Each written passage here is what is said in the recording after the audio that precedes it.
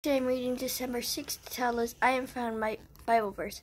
Rejoice with me, I have found my lost sheep. Luke 15, verse 6.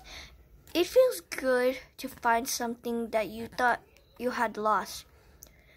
We feel happy when we think we found something, even if it is small.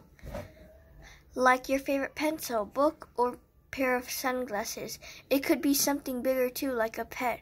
A farmer feels like that when he lost an animal in the Bible. Jesus talks about a shepherd who had lost a, his sheep and went looking for it. Everyone cares about things that belongs to them.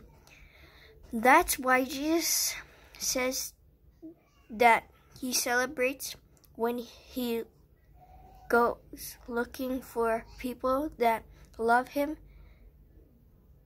and finds him finds them even if it is just one my prayer jesus thank you that you thank you that came looking for me i belong to you and you care about me. Amen. See you next time. Have a lovely day. God bless you all.